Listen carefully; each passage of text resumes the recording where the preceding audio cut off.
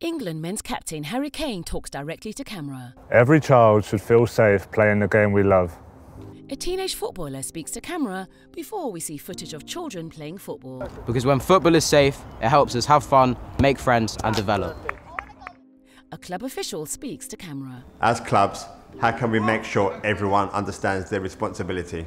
A coach speaks to camera before we see her helping a child get ready to play. to make football fun and safe for children on and off the pitch. Five coaches all speak to camera, one after the other. Play safe. Play safe. Play safe. Make sure everyone knows what's acceptable and unacceptable. Promote a culture of listening to children and remembering that we are all role models. A coach speaks to camera before we see footage of him on his phone on the side of the pitch as the game is being played. Know how to report a concern.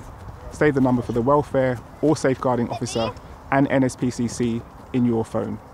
A grid of nine footballers, parents, and coaches all speak to camera at once.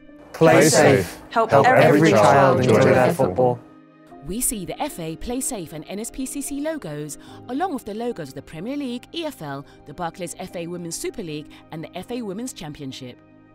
See how at the fa.com forward slash play safe.